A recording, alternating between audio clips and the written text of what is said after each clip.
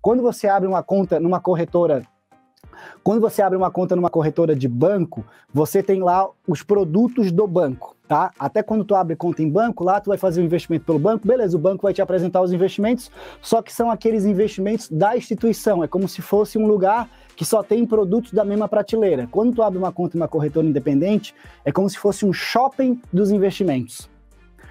E qual que é a diferença? A diferença é que quando tu vai num shopping, tem uma variedade de produtos, tem uma variedade de investimentos. Faz sentido? Tu vai lá no shopping, tem a loja Renner, tem a Magazine Luiza, tem a praça de alimentação, tem que mais? Tem a Boticário, tem a lojas Renner, tem a lojas americanas. Então tu tem várias opções e uma corretora independente você tem várias opções de investimento. Então tu consegue acessar o Tesouro Direto tanto pela corretora independente como pela corretora de banco. Então, primeiro passo. Ah, Elder, então aonde que eu abro uma conta em uma corretora independente? Vamos ver aqui, ó. Deixa eu compartilhar a tela de novo com vocês.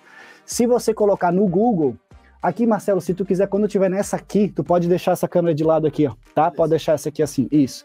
Então, se você, quando for abrir uma conta é, numa corretora independente, um ponto de atenção é botar no Google assim, ó, corretoras registradas na CVM, que você tem uma segurança maior que realmente são corretoras é, regulamentadas, né? Não é algo que você está fazendo aí, porque tem muita coisa perigosa na internet, tá? E aqui a gente tem uma lista das corretoras registradas na CVM. Eu vou pegar o link e vou colocar aqui no chat para todo mundo. Então, para quem quiser olhar junto comigo, acabei de colocar o link aqui nos comentários para vocês, tá? Então, corretoras registradas na CVM, aí se, você, se a gente der um zoom aqui, vocês vão ver aqui o nome de vários bancos e de várias corretoras. E aí, se talvez você já tenha uma conta em uma corretora, talvez você já tenha conta em um banco, e muito provavelmente ele já está registrado na CVM,